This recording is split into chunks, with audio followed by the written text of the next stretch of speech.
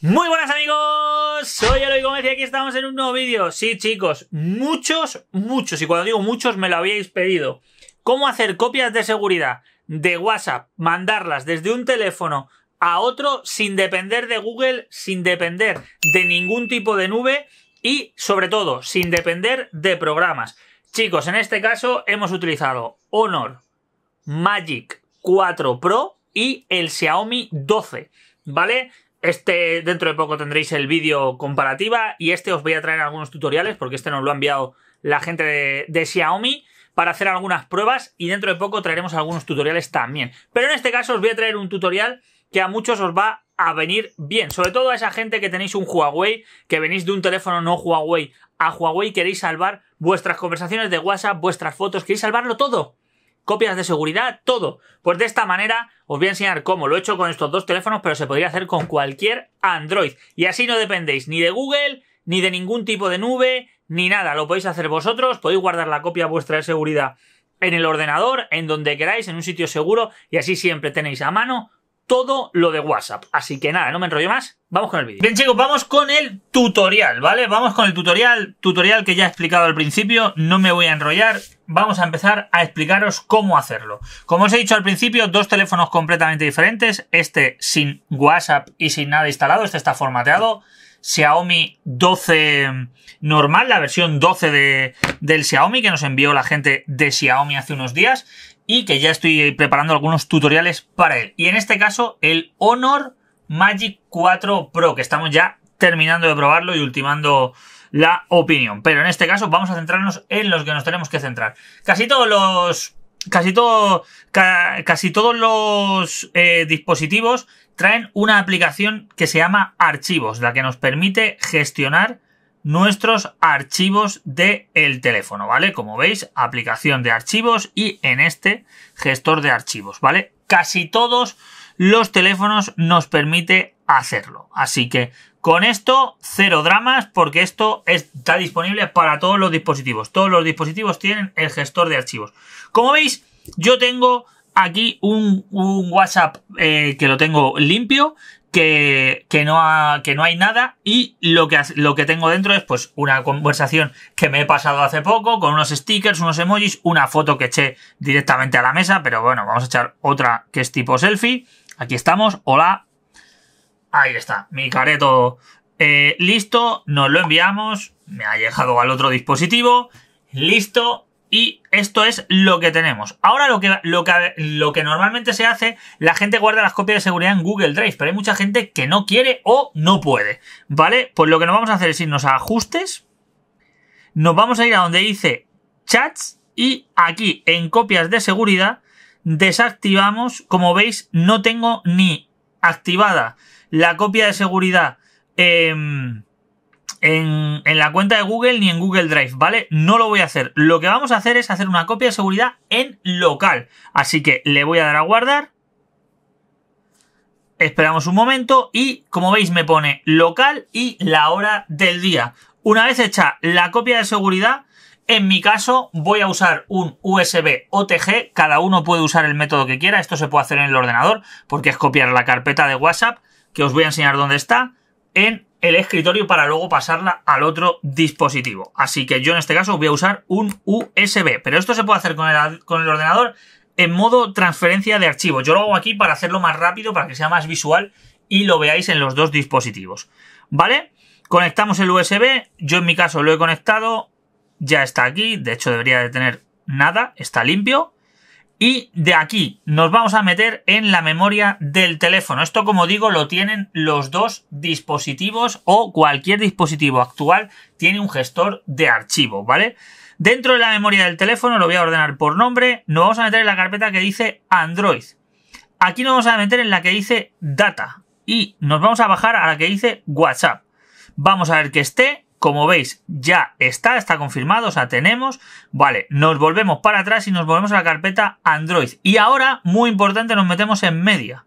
Y en media tenemos una carpeta que se llama WhatsApp, WhatsApp, y dentro, como veis, tenemos varias carpetas. A nosotros la que nos interesa es la carpeta entera. Repito, confirmamos Android, data, que tenemos la carpeta com.whatsapp. Una vez confirmado, volvemos a Android, abrimos media y ahí vosotros si tenéis muchas aplicaciones pues saldrán más cosas, pero ahí buscáis la que pone com.whatsapp y lo que hacemos es dejarla pulsada, darle a copiar y yo en mi caso la voy a copiar a la unidad USB directamente. Esto lo podéis hacer directamente, como digo, arrastrándola al escritorio. Le damos a la unidad USB y la copio. Y ahora solo es esperar a que se copie, ¿vale? Una vez que esté copiada, lo tendríamos. Así que esto tardará dependiendo de los datos que tengáis. Yo tengo 25 megas y no va a tardar mucho. ¿Vale? Ok. Ya tengo la carpeta copiada en la unidad USB. Ya puedo extraer la unidad USB. Desconecto. Esperamos a que se desconecte. Vosotros estáis en el ordenador, pues no vais a tener ningún problema. Desconectáis el cable y listo. Y ahora mientras nos vamos a ir a este dispositivo y aquí vamos a buscar WhatsApp, ¿vale? Y la vamos a ir instalando, porque este sería como el dispositivo nuevo. Aquí ya podemos desconectar la unidad USB, a ver si nos deja. ¿Vale? Ya nos deja desconectarla. Este ya le podemos bloquear porque no le necesitamos. Le vamos a necesitar ahora para el código. Pero bueno, y una vez instalado WhatsApp, lo primero que hacemos es abrirlo, ¿vale? Le damos a abrir y le damos a español y aceptar. Y ahora cuando nos pida el número de teléfono, lo que hacemos es cerrarlo. La hemos abierto para que genere las carpetas que necesitamos, ¿vale? Perdón. Cerramos, cerramos, la dejamos cerrada. Bien chicos, ahora lo que vamos a hacer es conectar nuestra memoria USB en el teléfono nuevo, ¿vale? Teléfono nuevo, conectamos la memoria USB, esperamos a que el dispositivo nos la reconozca y nos metemos en el gestor de archivos. Importante, muy importante, cada gestor de archivos funciona de una manera diferente. Como veis son dos teléfonos completamente diferentes y el gestor de archivos, aunque es muy parecido, porque aquí tenemos la lista de archivos, la memoria USB no la reconoce directamente en la carpeta, pero nos sale aquí arriba almacenamiento USB conectado. Así que lo que hacemos es entrar y como veis aquí tenemos nuestra carpeta de WhatsApp eh, .whatsapp. Lo que hacemos es copiarla, como ya hemos abierto antes WhatsApp para eh, que nos creara todas las carpetas necesarias. Lo que hago es copiar, almacenamiento interno compartido, nos vamos a Android, nos vamos a media, aquí ya tenemos la carpeta de WhatsApp, lo que hacemos es pegar, nos va a preguntar si queremos reemplazarlo todo, le decimos que sí, porque lo que queremos hacer es una copia de seguro, o sea, cargar nuestros archivos de WhatsApp en, en el nuevo teléfono. Y una vez lo tenemos, ya podemos expulsar nuestra memoria USB porque no la necesitamos, ¿vale? Una vez hecho esto, nos iríamos a WhatsApp, abrimos, aceptamos y aquí voy a poner cámara rápida mientras me conecto, no voy a hacer cortes, taparé esto para que no se vea lo del número. Así que nada chicos, cámara rápida, nos conectamos y ahora cuando estemos, volvemos.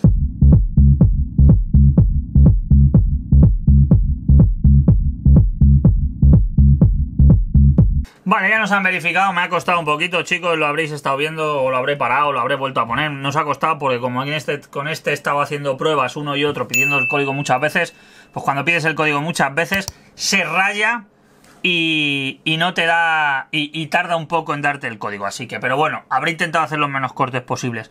Vale, ya nos han verificado, ¿vale? Una vez que nos han verificado, como ya teníamos los archivos dentro, mirad lo que va a pasar.